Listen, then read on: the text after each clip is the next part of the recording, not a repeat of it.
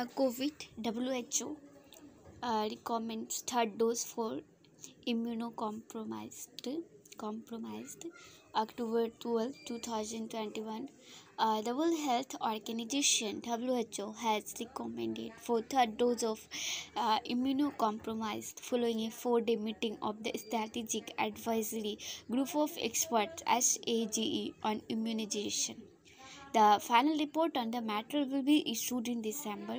Key points according to SAGE uh, moderately and uh, severely immunocompromised persons should be given an additional dose of all WHO approved